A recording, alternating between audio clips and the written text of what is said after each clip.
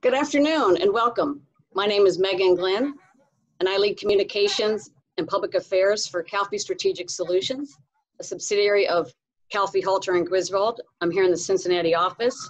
This is our latest roundtable with community leaders throughout the region and the state. Today we're honored to have Candace McGraw, the Chief Executive Officer of the Cincinnati Northern Kentucky International Airport with us today. Welcome, Candace. Thanks, Meghan. Thanks for having me today. You know, I always love um, seeing you, and I enjoy um, having an opportunity to talk about the airport. So thanks for having me today. Great. If you, if you allow me, I'd like to tell our, our guests today a little bit about your background. You've been an aviation professional for 30 years and have led the transformation of CVG over the past 10 years, reversing a nine-year decline in passenger traffic. Um, CVG is now one of the fastest growing airports uh, in, in the country in terms of passenger and cargo growth. You are recognized globally for your leadership in the airport industry and most recently was named, was appointed by U.S. Transportation Secretary Elaine Chao to the newly formed Women Advisory Aviation Board. Congratulations on that very recent assignment. I also want to um, recognize the overall team. Just last month, CVG was named once again the best regional airport in North America for 2020 by London-based Skytrax. This is the seventh time you and the team have won this great award in the last nine years. Congratulations.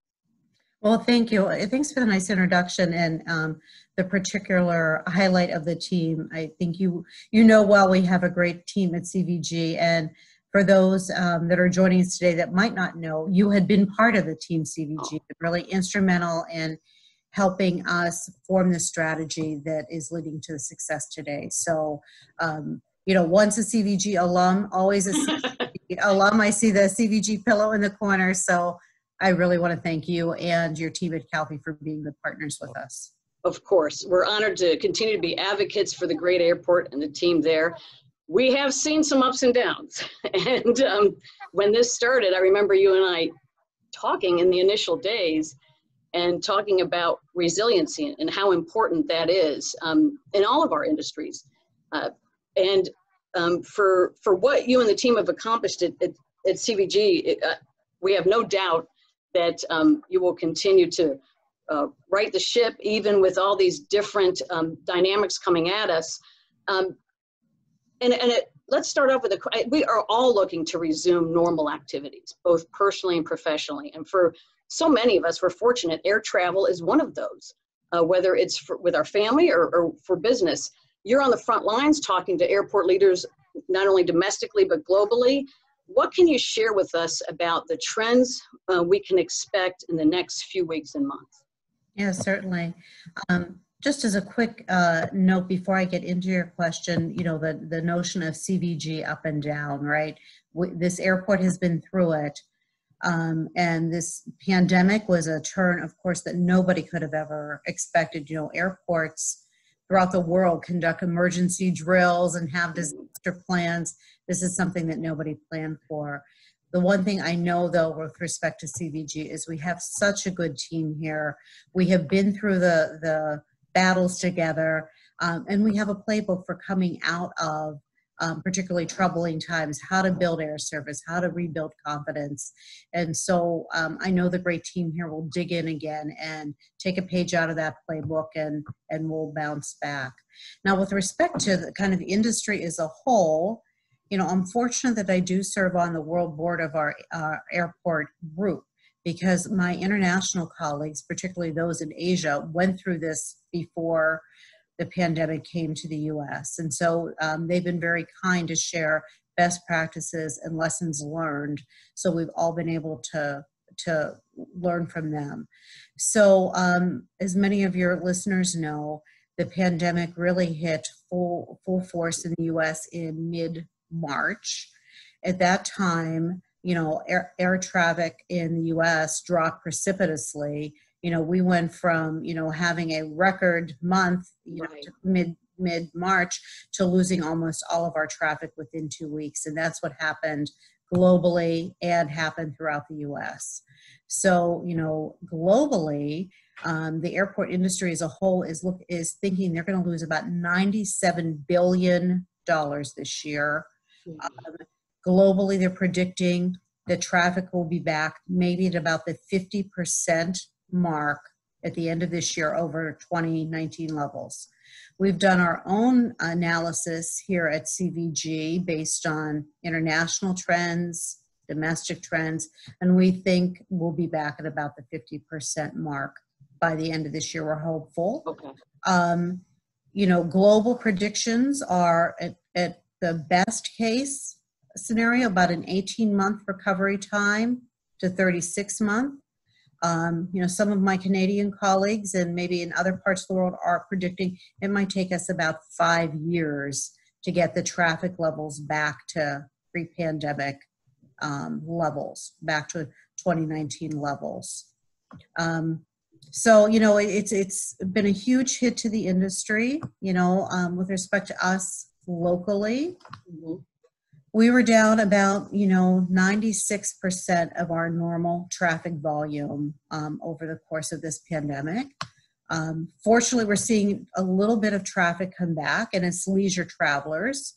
Um, the last 10 days we've been consistently at about 85% below our normal levels. So we're cheering that you know i'm focused on the 10% increase versus being 85% down.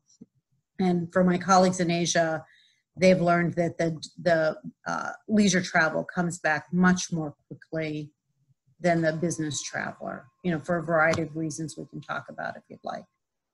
Great. Well, thank you for that. Well, when passengers do return to in stronger numbers to CVG, um, what can they expect in terms of um, your Fly Healthy initiative and TSA and, and those other necessary dynamics? Yeah, one of the things that you know our airport and all airports want to do is make people feel comfortable returning. You know, we have to earn back passenger confidence that they can come into a facility that is clean, safe, that we're taking all the necessary precautions. So what um, folks will see when they come into CVG and all airports around the country, um, they'll be asked to wear face coverings. In some jurisdictions, it's mandated. It's not yet mandated. It's not mandated at CVG, but um, they'll be asked to wear face coverings. You'll see all of our employees and all of the airline employees with a with a mask. Um, as you approach the ticket counter, you'll see plexiglass. Um, so there'll be plexiglass barriers between the passenger and the airline employee.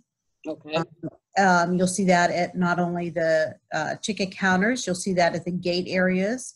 You'll also see that at certain points at the document checkers at the TSA um, space.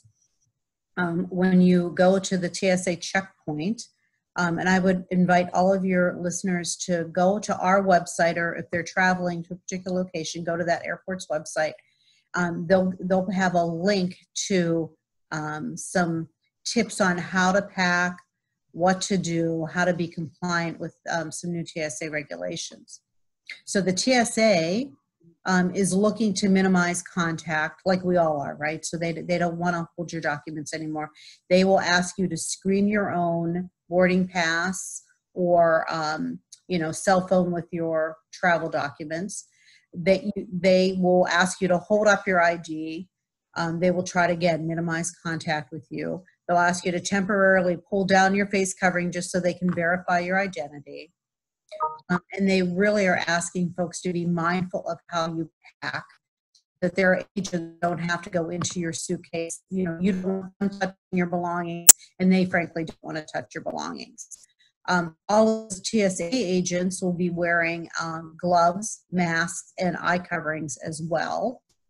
Um, and as you go through the checkpoint and come up to our concession areas, um, you'll also see uh, the plexiglass at the checkouts at the check-in areas uh, as well. So again, trying to minimize con- um, contact and trying to make sure that um, cleanliness standards are in place. Additionally, you're going to see um, our housekeeping crew out in full force Oh, they're fantastic. e- even more so than they always are. Um, we'll probably have less restrooms open now than what you might normally have until passenger levels return. That way, our housekeepers can really concentrate on cleaning the restrooms well and often. Um, and then the high touch points will be cleaned um, continually. Um, one got some attention for, um, and, and I, I saw it um, on in the last several months. The Avidbot. Do I have that correct? Right, Avabot. So, um, you know, we're really trying to lean into the innovation space. And, you know, we have a great uh, innovation team here led by Brian Cobb. And on one of his trips, um, he went on a, a sort of a, an information exchange to Singapore. While at the Singapore airport, he sees this um, uh, floor cleaner uh, that's completely automated that once you sort of program in the components of your facility, they do continual cleaning um, and and if, think of it, you know, I'm sort of a luddite. I think of it as a souped up uh, Roomba, right? It's a, a great cleaning device, um, but, but cleans much better than, of course, um, uh, a Roomba. But it so we have deployed one of those around the airport and looking at other technology right that's going to enhance cleaning and make sure we're safe and resilient uh, going forward. Great great. Um, there's a differentiator for for cvg in all this and it has to do with your you and your team's long-term cultivation of air cargo operators um, at cvg and uh, that it turns out um, must be really beneficial at this stage of the game. Um, not, not only for the airport um, proper, but the local economy. And I know that um, CVG is now the eighth largest cargo carrier in the U.S., I believe. Yeah, eighth In largest America. operator, North yeah, America, right? And demand for air freight remains strong um, throughout this pandemic. Uh, and it, many of our aircraft operators are trying to keep pace with demand. What is your what is the team's um, latest focus for um, air cargo? Yeah, thank you. Um, you know, cargo is a is a has been a huge focus at CVG. You know, we're pleased that we are the um, global super hub for the Americas for DHL. So we actually are their second largest location or second largest operation in the world, only behind their headquarters in Leipzig, Germany, and behind us is even Hong Kong. So their operation here at CVG has been long standing and they're a great partner to work with. Um, as you also know, in 2017, we signed a deal with Amazon and they're building their largest US cargo hub operation at CVG. So um, I think I well I know we are the only two only airport in the Americas that'll have two cargo hubs operating out of out of its airport. Right. During this pandemic, um, they haven't missed a beat. So both DHL and Amazon have been flying at um, holiday levels, and I know um, uh, one of the uh, companies that flies for them is Atlas Air, which are great friends of ours, both of ours, and they have been uh, working nonstop over this pandemic. You know, I have joked with uh, some folks. I think they're all going to get a restraining order um, on me because I keep sending them love letters, right? Because they are keeping our airport up and operational, and the lights are on because of the cargo operations. You know, normally we run at about 60% in, in terms of landed weight and, and, in terms of the amount of aircraft that are landed here 60% cargo 40% passenger. In april that balance was completely skewed of course. We were running at 82% cargo operations. So we're really thankful for that business. Um, you know the not only for keeping our lights on but for um, um, carrying all of those necessary ppe items throughout the country throughout the world um, and then all of those packages that are showing up at our homes for those items that we needed to order and couldn't go to the store and get. So it was a huge um, differentiator for us for this airport. We were actually, we had a record cargo volume in uh, April. We were up 8% from the prior April, which was also a record volume. So they keep they keep um, setting new records here. Um, fortunately, throughout this pandemic, the construction on the Amazon Cargo Hub has continued as well, and we're looking forward to having that facility up and operational third quarter of next year.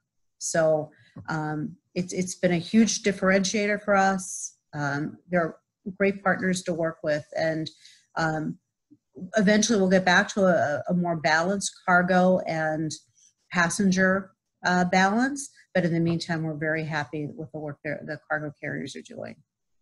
Great careers too, and they're hiring.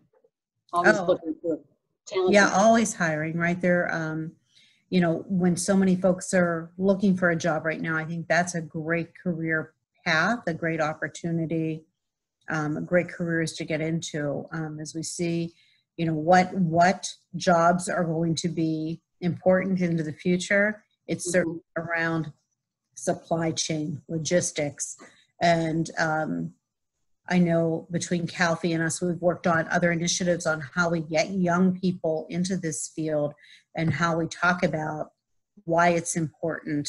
And this pandemic only shows that um, having a good supply chain in place is what's necessary to keep this country and this economy moving.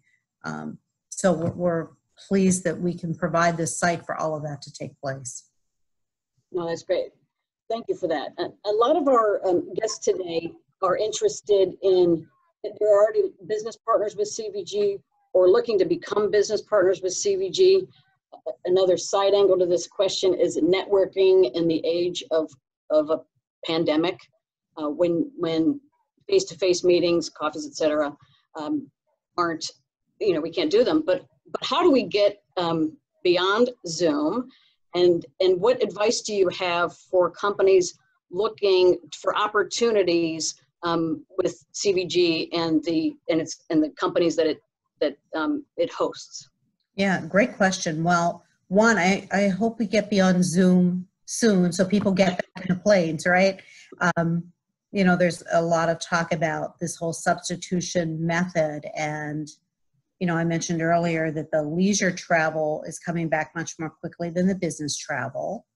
Um, I think one reason is this substitution method seems to work well, um, you know, for quick meetings or people maybe that you already know. But if you want to cultivate business or kind of eh, to get a um, sort of a deeper, closer connection with your with your business partners on a on a level that transcends a screen, right? You're going to have to get back in a plane. Um, but that aside, um, for those folks who want to uh, do business, say with CVG, I'd invite them to go to our website at cvgairport.com. There's a section called Doing Business With. Um, what we do is we put out all, you can register to do business with us. There's certain um, areas of interest you can click on and register. And anytime we um, are soliciting for a contract, soliciting for business, um, looking for bids, um, your company, once registered, will, will receive any of the information we put out on those particular subject areas. So for instance, if you're a contractor, uh, anytime that we would issue a proposal, uh, issue an RFP looking for that sort of work, that, that proposal will be sent to you electronically. So I, I'd invite everybody to register for that. It's a good way to stay connected. Great, Um, good you- advice. Yeah, and then we're also, um, you know, we're always looking for what's new, what's different. Um, you know, I invite folks to send emails to us. We'll, we'll figure out how we can connect. And um, eventually we'll meet in person, but in the meantime, we'll, you know, we'll, we'll look at Zoom and those sorts of uh, items. And speaking of, we have a, a question here from a participant um, who's lauds the airport for, for its innovative approach and research and development. Anything uh, that you can share with us um, on the horizon that you're comfortable talking about that, that you and my, you and the team might be looking into? Um, sure, happy to. So, you know, through this pandemic, we had, you know, boots on ground operations folks that made sure we were up operational every day, right? We have a team that was here throughout the pandemic, who never missed a beat, that were focused on the here and now. We also have another team, right, that is very forward focused, always looking for what's next. How do you take current technology and maybe morph it into what it could be look like in the aviation space um, or what's next on the horizon. So a few things that um, those those crazy folks are looking at are um, we're going to actually be trialing something here that I think is interesting. There's you know there's a lot of discussion out in the industry about um, temperature taking and should that be done as we enter our workplaces should that be done um, as you enter an aircraft you know, just just um, this week, Frontier is going to be taking the temperatures of passengers as they get on the aircraft with those, you know, um, sort of the infrared temperature taker uh, thermometers. Well, what we're doing here is trialing something just for amongst our own employees, um, where you walk through, so nobody has to miss a beat, nobody needs to stop, right? And it takes the temperature of your tear ducts, of all things, which are supposed to be much more highly accurate.